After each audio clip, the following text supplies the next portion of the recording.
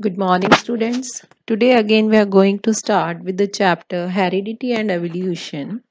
Now, beginning with the Mendel's experiment, uh, today I want to discuss that why Mendel selected garden pea plant that is Pisum sativum for series of hybridization experiment. Uh, number one, because it was easy to grow, and number two, it had a short life cycle and therefore it was possible to study in the number of generations. Number three, garden pea plant has distinct, easily detectable contrasting variants of feature. For instance, some plants were tall and some were dwarf. Some had violet flowers, some had white flowers. Some plant had round seed and some had wrinkled seed and so on. So Mendel in fact noted seven pairs of such contrasting characters in garden pea plant.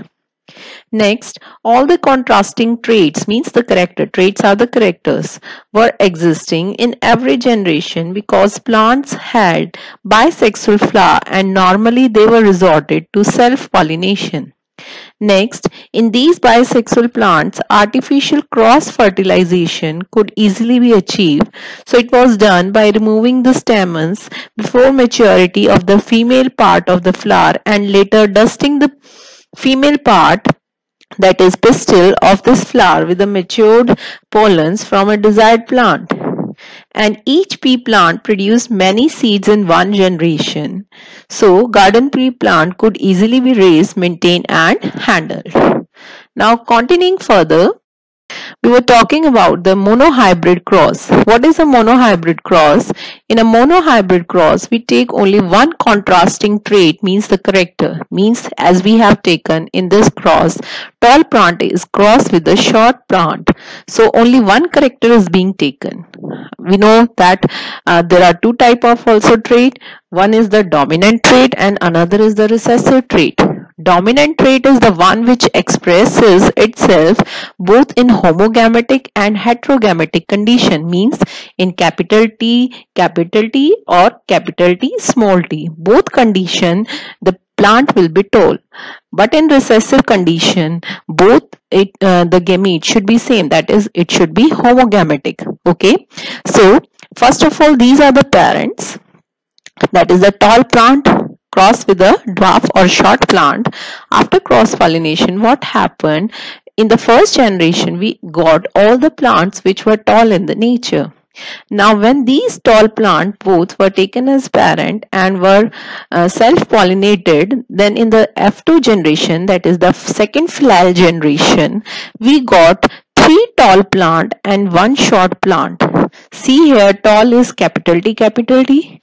And when it is capital T small t then also it is tall because uh, the uh, dominant trait expresses itself in the presence of uh, recessive trait also. Okay? And this plant is also tall and this is short so, the result of monohybrid cross enabled Mendel to formulate the first law of inheritance which is called the law of segregation. Segregation means alag-alag hona, characters ka alag-alag ho jana. Okay. Now, according to law of segregation, the characteristic of an organism are determined by internal factors which occur in a pair.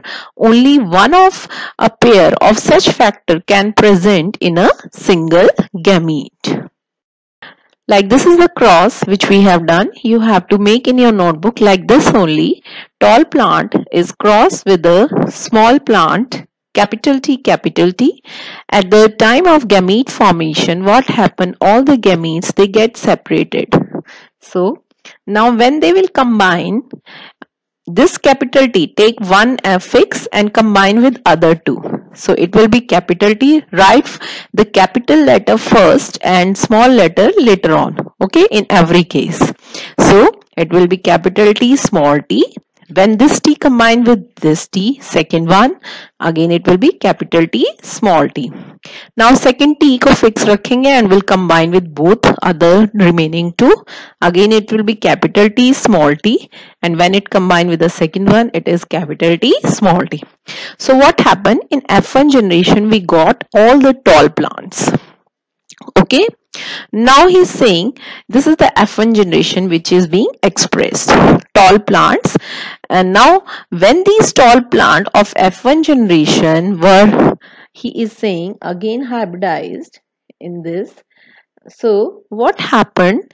Now uh, when the traits are separated how they will be separated? Capital T small t capital T small t. When they will combine? Keep one fix and combine with remaining three so we get capital T small t, again capital T small t, capital T small t and capital T small t इस तरह से क्या है? एक box check box बनाना है आपने।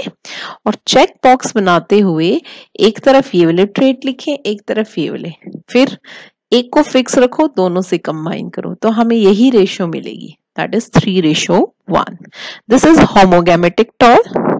This is heterogametic tall both and this is homogametic dwarf or short plant. Now continue